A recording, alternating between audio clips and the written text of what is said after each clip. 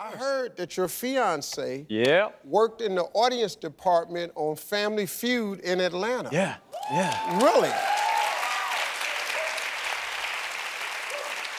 So Brittany, she's uh, the light of my life. She's uh, she told me so much about you. And is Ruben here?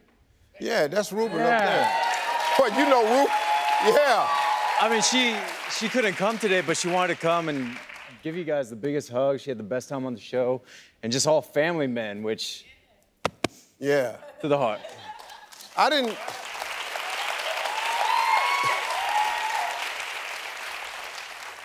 We had some nice people working at Family Feud. I didn't see her though. That's you hit Thank the you, thank jackpot. That's pretty good. Yeah, I did. Yeah, she must have been in disguise on the show. Yeah. She worked hard, but she's Everybody she's knew. amazing.